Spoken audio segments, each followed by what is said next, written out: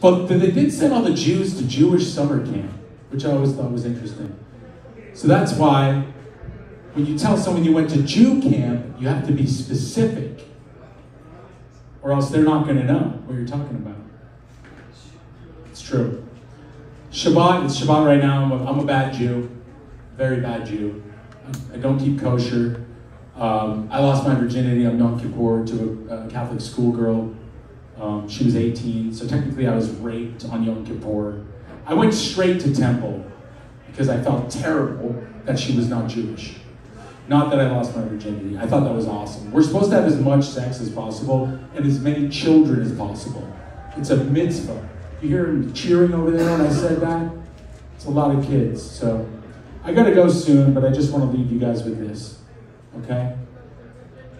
I think honor is a very important thing in life, okay?